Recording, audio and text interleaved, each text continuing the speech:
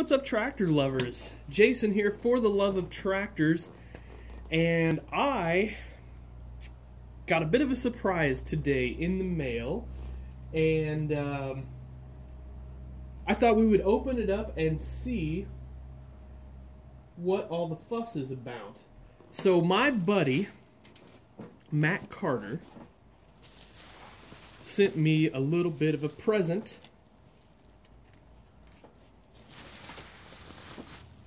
to show you guys. And, you know, this camera angle is terrible, so I apologize for that. But, let's just see what we've got here. Any ideas? Any guesses? Anybody? Oh, it's it's a fancy Mac Don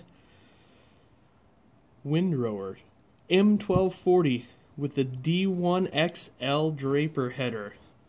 Huh. Let's talk tractors, yo.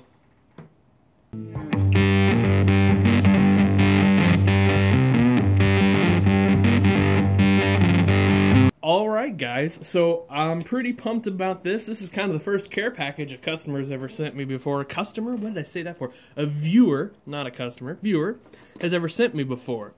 And uh, so the, the deal was here, he asked if I had one of these to do a review on, and I said, I do not, and I wasn't sure if I was going to get one. And, and here's why. I'll just get right to it.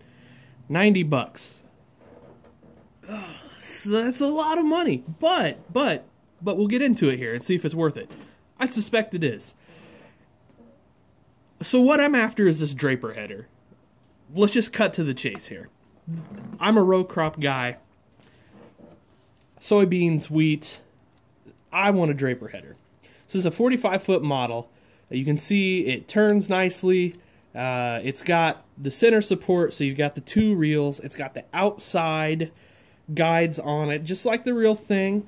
Really nice uh, MacDon logo over here on the side. You get the red because it is with the red MacDon. You know, if you had a Deere, you would get green. If you had New Holland, it would be yellow, so on and so forth. So, no detail here on the back. That surprises me a little bit, especially for the $90 price tag. But, that doesn't, you know, it's okay. It's all right. Still, where else are we getting a header, a 45-foot MacDon header? Unless somebody would custom make one or 3D print one. Hmm. anyway, that's a hint. For some of you guys, you know what I'm talking about. Others, you don't. And uh, you will eventually. So here's here's here's the bee's knees. Does this fit on a or Ertl combine? And the answer is not really. You'd have to do some modifications. So I've actually made an adapter plate for another MacDon header that uh, I may or may not have alluded to a few seconds ago. And I think it would work on this. You can see the ta the tabs of this go right. They fit pretty good, right? But like if you go and lift it, of course it's going to come off because there's nothing holding that on and this is how it goes on to the windrower, which I'll show you guys in a little bit. We'll, we'll get into that better.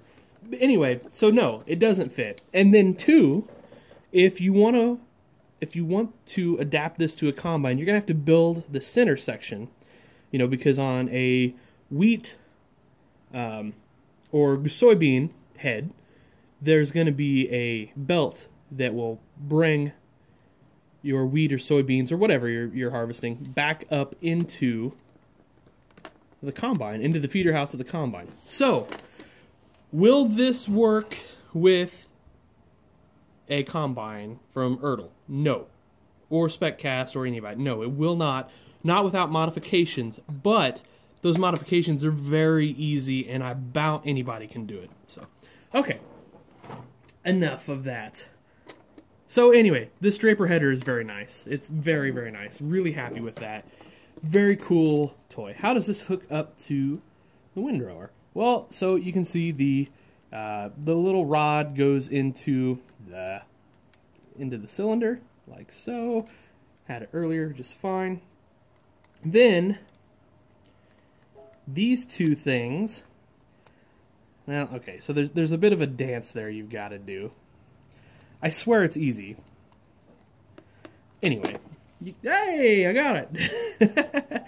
there it is. So now you've got a 45 foot header on your MacDon 1240. Eh, I'm sorry, M1240 windrower. This thing rolls so nice. Look at that. That's great. So your rear rear wheels steer independently. Do those pivot? Oh, look at that. They even pivot. How cool is that? Very nice. Very, very, very nice. Excuse me. Wow. Don't know why I'm sneezing. Ugh. I'm allergic to MacDon equipment. Not. Um, wow. I could spend the whole afternoon playing with this thing, I think. I just might. Very cool. Very, very cool. Let's go ahead and pull that header back off here. Just a little tug and you've got it. Wow, my nose is running something terrible all of a sudden. Maybe I am allergic to MacDons. Um, we'll put this header on here. Sort of. Same thing. Just got these two little tabs that slip on there. Okay, so I didn't get it in the cylinder. You just have to... Whatever. Same thing. Man, that is a really nice outfit. So I was on the fence about getting it. Because it's 90 bucks.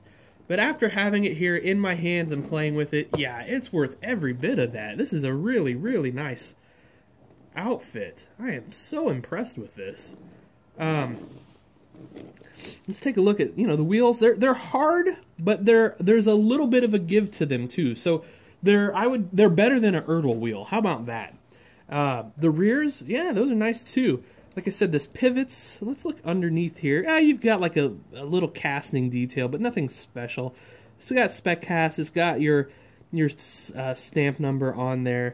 Um, get handrails all around. You've got doors on either side of the machine. Wow, I'm doing a terrible job with the camera here today, and I apologize for that. Um, there is some nice cab detail. You got your buddy seats and your regular seat, a steering wheel, and it's an actual steering wheel. It's not just a disc in there. It's it's actually got spokes. And then you've got your console. Not a whole lot of detail on that console, but enough. It's got it's got some texture. It's got a screen on it, and all of that. Uh, flasher lights and mirrors and then your beacons as well. And even this header has just a little bit of detail. And I'll be honest, I'm not um, I'm not familiar with disc mowers at all because we are corn, soybeans, and wheat. So this is not not a machine that I would be very familiar with at all. But so I don't know exactly what that is. I believe those are just flashers, so those look nice. If we pop this up, you can see some of your you know, your cutting detail or whatever that is here. And oh, that's that's cool. That is actually uh, rubber. Your um, your shield there, your your guard or whatever you'd call that. So, anyway, so this has gotten into about a seven or eight minute video. So I apologize. I don't like to to go this long, although I do most of the time. Wow, super impressed with this thing. I um, it's so well done. You got MacDon de decals everywhere, and there you go. So, hey, if you are looking for a MacDon windrower with a Draper header and a disc mower, this is it for you guys. This is it. 90 bucks. Uh, they're still available. They're still out there. I heard these are going to be reasonably limited production. Uh, I heard 5,000, but don't take my word for it. Could be less than that. A lot of times when a company tells you 5,000, it ends up being less. So, um, anyway, yeah, impressive, impressive little outfit here. Good job, SpecCast. That's well done. That's an early candidate for Toy of the Year this year, for sure, because that is uh, just a really nicely done piece. So, anyway, guys, hope you enjoyed the video. Thank you for watching please like, share, subscribe, all of that good stuff. We're, we're working towards 500 subscribers now. I'd love to get there before I get done planting corn this year. So we got about a month to do that. Anyway, have yourselves a wonderful day, guys. Happy toy hunting. Thanks for watching.